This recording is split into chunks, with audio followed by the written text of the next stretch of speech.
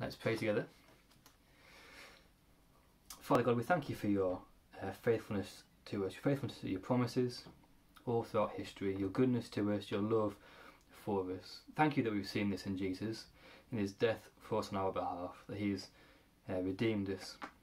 And we see all these things are undeserved by grace, that we receive such blessings from you. And Father, when we are so often ungrateful, when we uh, want more, we think we deserve more, when we think we need more, help us to be thankful for what we do have, knowing that we have received so much and so much more than we deserve. For as the Apostle Paul was uh, content, we pray that we would learn to be content whatever the circumstances. And particularly as we feel the fatigue uh, of lockdown restrictions, we are tired with um, all the different restraints on our daily lives. And we're tempted so often to be unthankful. Father, we pray that we would uh, be truly thankful for what we do have, for what you've given us, for your blessings to us. Father, we pray for our church here at St John's. We thank you for uh, the return to the building. We thank you that this Sunday we can uh, gather together in church. And we pray that uh, it wouldn't be long before all of us are able to return to the building. And whilst it's not the same as what it was, Father, we pray that we would be thankful for what we can do in church. Father, we pray that we'd be able to continue to meet even over the winter months as um, the restrictions may well increase. And we pray for our youth groups and home groups as they seek to start back uh, in the coming weeks. Father, we pray that uh, that work of ministry would continue. Um, and particularly for the youth groups, we pray, Father, that uh, there be wisdom amongst the leaders as they seek to uh, return to groups in person. Father, we pray we wouldn't see kids who have dropped away and fallen away, um, but they would come back eager uh, and excited to come back to youth groups. And Father, we pray that this season um, wouldn't hinder the ministry of St. John's, but we would see people continuing to hear the gospel and come to faith. We would see people continuing to be discipled and matured as they are uh, taught from your word.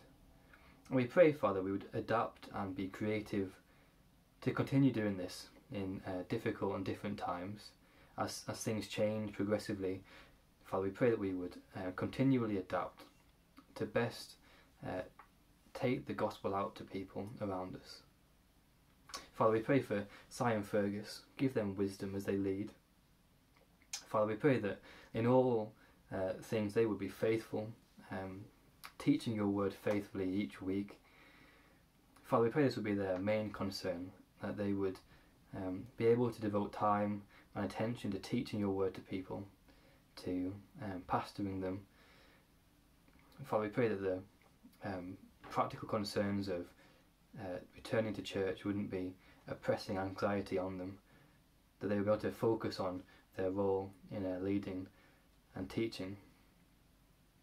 Father, we pray um, and give you thanks for Alison and Matthew in their new roles. We pray that you bless them as they serve the church. Thank you that they're giving up time to serve us.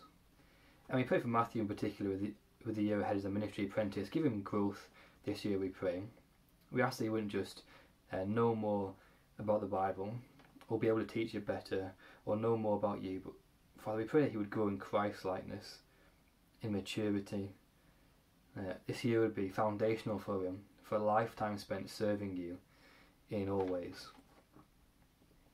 We pray for our nation. Father, we pray for wise and godly leaders who seek to do what is right and what is just. Father, we pray for the Queen and all who serve in the government under her. We pray that they would do what is best for the nation, do what is best for all, they would do what is um, right and wise.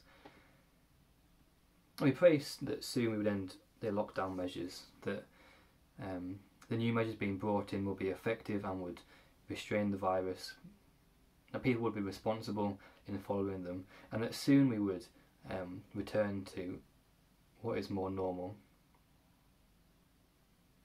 But ultimately, Father, we pray for awakening in this country.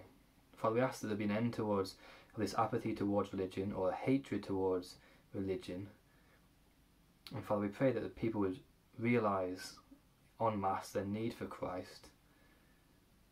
Father, we pray you would use your church for the sake of your glory to take the gospel out to this country, to see people uh, come to faith.